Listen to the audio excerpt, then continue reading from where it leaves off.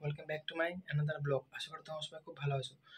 Friends আমার আগে ভিডিওগুলো যারা যারা মানে দেখেছ সাপোর্ট করেছ, সবাইকে অসংখ্য ধন্যবাদ। আমার ভিডিওগুলি প্রতিদিন তোমরা দেখছ তেমন ভিউজ আসছে। তো এই ভিডিওটিকে ঠিক করে সময় দাও, ঠিক করে দেখো। কারণ ব্লগটি আমি আজকে লেট করে স্টার্ট করছি। কারণ কালকে রাতে আমার একটু শরীর খারাপ ছিল বলে আজকে একটু লেট করে ঘুম থেকে উঠেছি বলে ব্লগটি যে লেট করে স্টার্ট করছি।